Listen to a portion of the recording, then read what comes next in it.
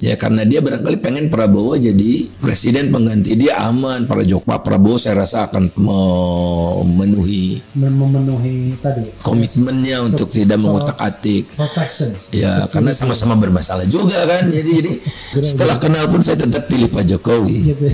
karena bagi saya ancamannya lebih besar kalau Prabowo jadi presiden itu aja. Demokrasi itu akan menghasilkan kesejahteraan yang lebih baik. Oke. Okay. Akan meningkatkan angka harapan hidup akan menurunkan angka kematian. Pokoknya demokrasi does affect growth.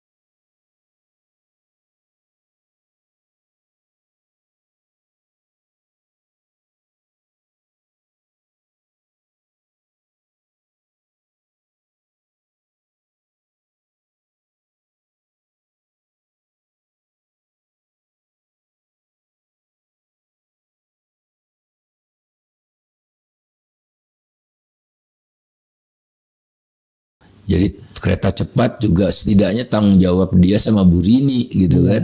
Karena itu tidak lewat proses yang benar ya, gitu. Tidak, Apa tidak menteri ada, yang bertanggung jawab tidak, ada tidak dilibatkan ya, gitu. Tidak ada good governance-nya. Ya, good governance jauh. Ya. Ya. jadi yang kemudian itulah apa Pak Jokowi juga yang create masalah-masalah ini misalnya food estate diserahkan ke Menteri Pertahanan hmm. apa urusannya gitu kan ya karena dia barangkali pengen Prabowo jadi presiden pengganti dia aman. Para Jok Pak Prabowo saya rasa akan akan memenuhi apa ya memenuhi tadi komitmennya so, untuk tidak mengutak-atik ya karena sama-sama bermasalah juga kan. Jadi jadi uh, biasanya orang bilang uh, nggak keliru. Menhan itu kan bukan menteri pertahanan tapi pertanahan. men, bukan menteri pertahanan juga menteri anu, menteri tahan pangan.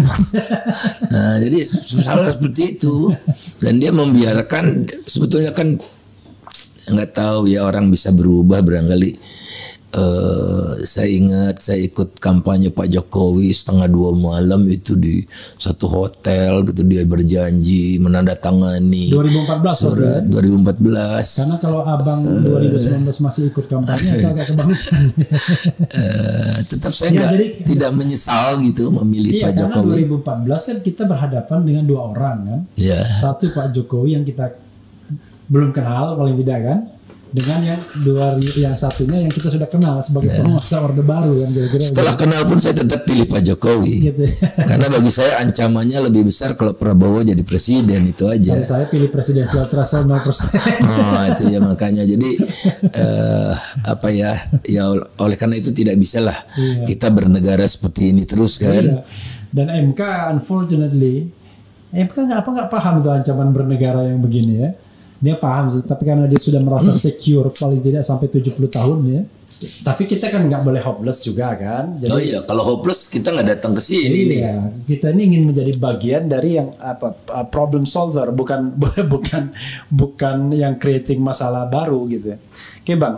Abang anu aja uh, terakhir ini coba abang tawarkan beberapa solusi yang yang agak ya singkat-singkat biar mudah mudah di mudah di apa mudah diingat tetapi tentu kan nanti kan eh, perlu dielaborasi itu soal lain gitu satu dua tiga apa yang yang abang pikirkan soal solusi berbangsa dan bernegara soal ekonomi dan soal lainnya yang juga penting ya kalau saya mulai dari belief dulu lah ya ya. belief bahwa demokrasi itu akan menghasilkan kesejahteraan yang lebih baik oke okay. akan meningkatkan angka harapan hidup akan menurunkan angka kematian. Pokoknya demokrasi does affect growth. Oke. Okay. Karena sampai sekarang masih ada yang beranggapan nah demokrasi terlalu mewah buat kita. Yeah. Oleh karena itu kita bangun dulu nanti kuenya udah besar bagi-baginya kan lebih banyak. Padahal masalahnya Nah, teorinya itu seperti itu tapi kuenya nggak pernah besar langsung dibagi masih kecil aja udah dimakan mereka semua gitu. Jadi oleh karena itu demokrasi harus kita rawat. Oke. Kalau demokrasi kita tidak bisa rawat, kebebasan kita terancam, kita tidak lagi bisa dialog seperti ini. Iya. Itu yang harus kita pertahankan, Iya. yang harus kita jaga karena itu tidak ada nilainya. Iya. Kita tidak bisa berbuat Dan apa-apa. bahkan sekarang demokrasinya dalam ancaman kan? Betul, makanya makanya saya bicara tentang demokrasi ini. iya, ketika kita salah ngomong sedikit, udah mulai nih ada buzzer-buzzer yang mulai mau mengadukan. HP kita bisa diakses walaupun urusan privat. Iya. Jadi ini nggak ada urusan privat, urusan publik lagi sekarang nggak ada jelas nggak ada batasnya. Nah ini kita harus perjuangkan mati-matian untuk ini. Jadi demokrasi apa? Must prevail ya kan? Nah kemudian kedua, saya melihat sekarang social mobility itu rendah sekali. Hmm. Jadi orang baik tapi tidak bisa Naik. mobilitas ke atas Iya. karena ditutup aksesnya sama sistem itu oleh Hmm. sistem itu oleh sistem oligarki oleh eh, apa namanya eh, politik eh, apa turunan itu apa namanya Eh, politik dinasti. Hmm. dinasti gitu-gitu ya nah jadi kuncinya social mobility Oke. seperti alhamdulillah nggak tahu ya Bang Refli tapi kalau saya saya datang dari keluarga yang sangat tidak berada Hmm. tapi alhamdulillah saya bisa mengecap pendidikan berkualitas Iya. dari SD sampai perguruan tinggi bahkan negara membiayai saya untuk sekolah ke luar negeri. Hmm. Kalau saya tidak diberikan akses saya barangkali udah Tapi abang kan orang Jakarta dari kecil, enggak kampung. iya Jakarta. Ya penting saya orang Palembang.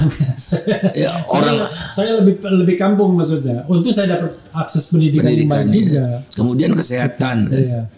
Saya kalau nggak salah waktu itu kan di sini kan penuh dengan bekas vaksin-vaksin itu kan. Iya. Kemudian puskesmas didirikan segala macam sehingga aksesnya kalau dulu kan saya sunat aja di RSCM coba sunat di RSCM kan udah kebangetan kan Iya, iya.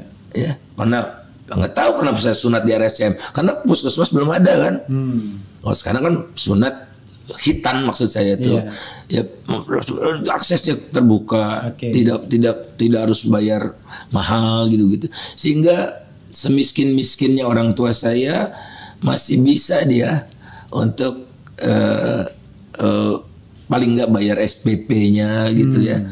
kalau sehari-harinya ya saya eh, apa ikut apa survei gitu-gitu ya mesti Hmm. mesti dapat uang saku gitu.